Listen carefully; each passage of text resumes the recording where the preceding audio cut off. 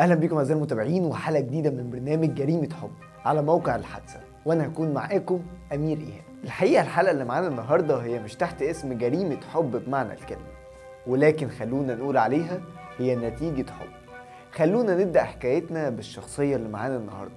شاب بسيط من قرية بسيطة جدا والكل بيحلف بأخلاقه من صغره وهو بيصرف على أهله زي ما بيتقال كده واد راجل من صغره. الشاب اللي معانا بعد ما وصل ل 37 سنة وبعد ما كان رافض الجواز نهائي وأهله أول ما يقولوا يا جواز يعترض. أنتوا عارفين بقى معظم الجوازات في الكرة بتبقى سهلة لأنها صالونات. وكل شوية يا ابني شوف دي بنت الحاج مين ودي بنت الحاج مين ودي بنت العمدة مين وهكذا. ولكن هو كان بيرفض الفكرة أساسا. وكل همه إنه يجوز إخواته البنات ويساعد أبوه يصرف على أهله وبس. لحد لما زي ما بيتقال الأستاذ وقع على وشه. أعجب ببنوتة في القرية وكأنها عملت له سحر. وتحول بشكل كبير جدا وبدأ يعمل حاجات عكس طبيعته.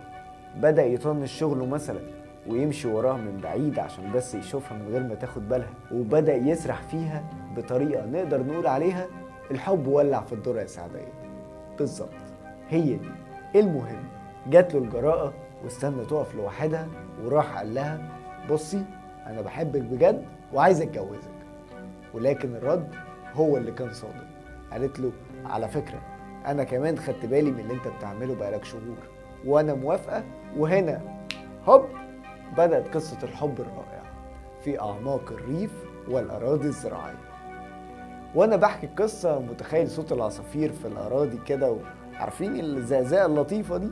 المهم قعدوا بقى يتكلموا كتير ويتعرفوا كتير لحد لما خلاص قرروا إن هم يقولوا لاهلهم وفعلا راح واتقدم والصدمة كانت هنا. الأهل رفضوه رفض تام بسبب إن المستوى المادي مش واو يعني وإنه هيسكن في بيت العيلة بتاعها هي العروسة موافقة طبعا ولكن أهلها هم اللي كانوا رافضين بشكل كبير جدا. ساعتها الشاب اللي معانا روح وهو كله فقدان أمل وحيرة ومش عارف يعمل إيه. لحد لما اتقابلوا تاني. هي وهو.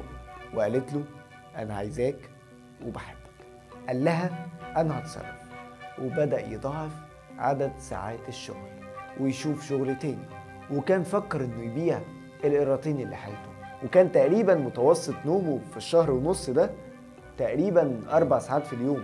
ده لو لقاهم. وكل ده كان بالنسبة له على قلبه زي العسل علشان خاطرها وعشان يسد احتياجات عيلتها أظن دي تعتبر قصة حب حقيقية بجد ومع راجل فعلا. المهم إنه فعلا راح لأهلها تاني ولكن أهلها ما توقعوش إنه ممكن يرجع تاني. ومن غير حتى ما يسمعوه رفضوه للمرة التانية ولكن هو فضل يحاول لحد ما وصلت بيهم خلافات كبيرة جدا جدا ووصلت بتهديدات كمان من أهلها. والعروسة مش عارفة تعمل إيه قصاد أهلها. هل تختار قلبها ولا عيلتها وهو كان بيفكر أكمل ولا حافظ عليها مع أهلها؟ عشان ما تخسرش حد منهم. وفعلا قعدوا يفكروا كتير سوا جدا واختاروا إنهم يبعدوا. ولكن حالة الولد اتدهورت جدا وكان دايما تجيله أفكار طب أخدها وأهرب طب أعمل أي حاجة.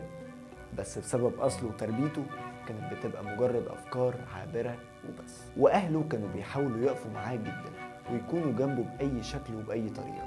ولكن حالته النفسية كانت سيئة جدا لدرجة إنها خلاص ما بقاش في شغل ولا نوم. يعني تفكير وزعل وبس. والبنت كمان كانت في نفس الحال وأهلها عشان يخلصوا الليلة دي بقى جابوا لها عريس وخطبها فعلا. ولكن صاحبنا ما كانش يعرف الكلام ده خالص لأن تقريبا ما كانش بيخرج من بيتهم ودخل في حالة اكتئاب شديدة جدا وصعبة ولا أكل ولا شرب ومهما حاولوا مفيش وفي يوم خطوبتها على العريس اللي مجبرة عليه للأسف جالها خبر وفاته إنه مات من حالة الحزن والاكتئاب الشديد. وده اللي اتقال بعد ما الشرطة جت واشتبهت في وجود شبهة جنائية. يعني يوم خطوبتها كان يوم وفاة حبيبها.